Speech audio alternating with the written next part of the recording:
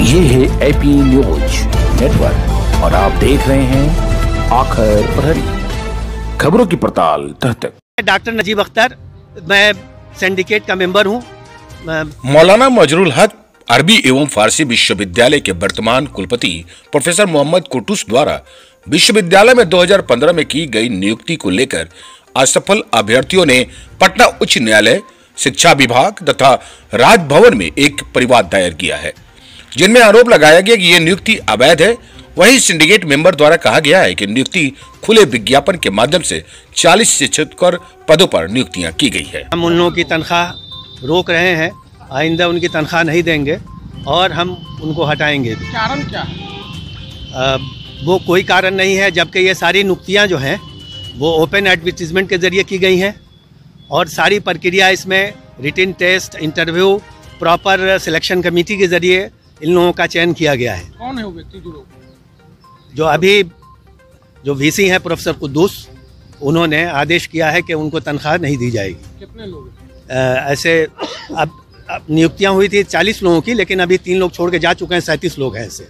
राजभवन मिलने आए थे क्या राजभवन- में हम लोगों ने सारी बातें बताई कि इन लोगों की बहालियाँ विधिवत हुई हैं और जब जिस वक्त बहालियाँ हुई थी उस वक्त असफल व्यक्तियों ने पटना हाई कोर्ट, माननीय राज्यपाल और शिक्षा विभाग का दरवाज़ा खटखटाया था।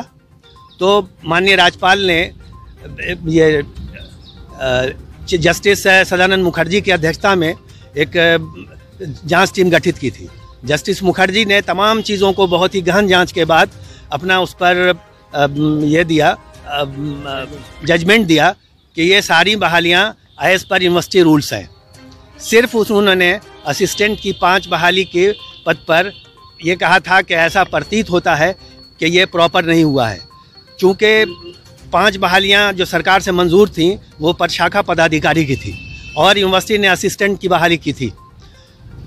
तो पाँच लोगों को राज, राजभवन के निर्देश पर उस वक्त हटा दिया गया।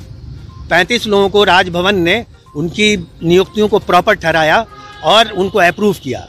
पाँच लोग जिनको हटाया गया था वो माननीय उच्च न्यायालय गए और वहाँ से माननीय उच्च न्यायालय ने उनकी नियुक्ति को सही ठहराया। ये कहा कि प्रशाखा पदाधिकारी की जो पोस्ट है, ये प्रोन्नति की पोस्ट है। यूनिवर्सिटी ने असिस्टेंट की जो बहाली की है, वो बिल्कुल सही की है, इसलिए उनके वेतन को रोका नहीं जा सकता है। उनको सही ठहराया। शिक्षा विभाग ने भी आज तक कभी उनकी नियुक्ति पर कोई प्रश्न चिन्ह नहीं उठाया। हमारे नए वाइस चांसलर आए तो उनको ये चाहिए था कि जिनकी सैलरी के मद में अगर सरकार से पैसा नहीं आ रहा है, पैसा लाते, यूनिवर्सिटी अब डेवलप को डेवलप कराते नए पोस्ट लाते नए डिपार्टमेंट्स खोलते, बजाय इसके कि जो लोग वहाँ पे काम कर रहे हैं, उनकी रोज़ी रोटी